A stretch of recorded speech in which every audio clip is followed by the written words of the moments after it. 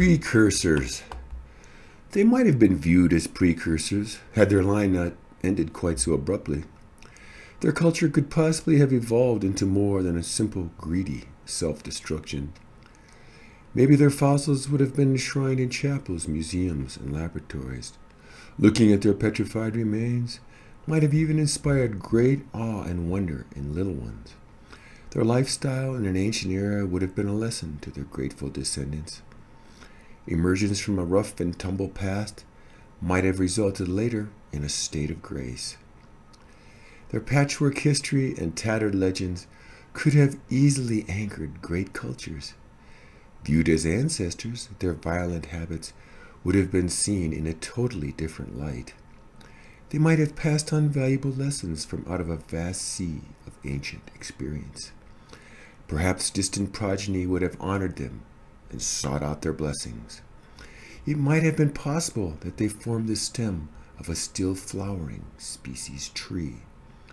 Their DNA could have contributed to something beyond their short, harsh, and angry tale.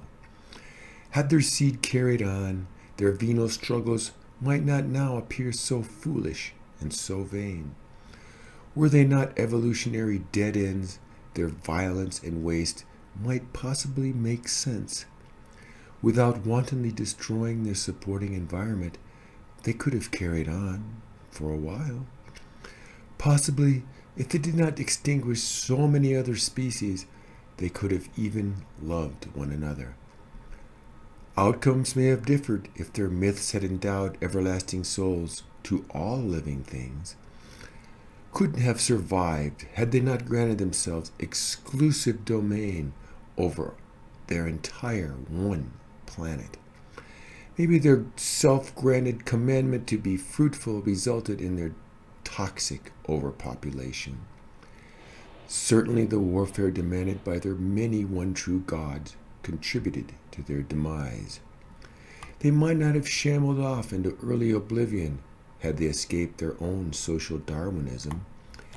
If they could have appreciated their inheritance, they might have planned for their legacy. Perhaps not basing their economy on short sighted greed would have led to more success. Finally, taking action only after they had collapsed their ecosystem was not a viable survival strategy. Maybe not gauging their progress solely upon extractive consumption would have helped.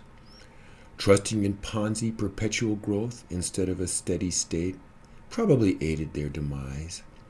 Their never begotten offspring might not have disdained their elders as irrelevant fools, as they did. Had they the sense not to bring on a mass extinction, things might have been very different.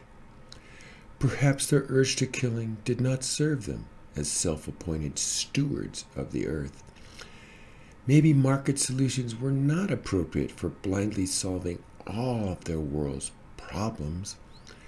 Basing price on demand did not ensure the long term availability of any of their finite resources. Placing their bloated population's marketed needs before the one planet that sustained them failed them.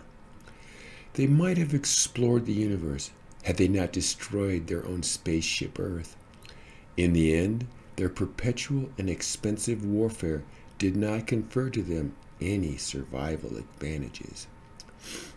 If they had not always followed monomaniacal, will to power freaks, they might still exist.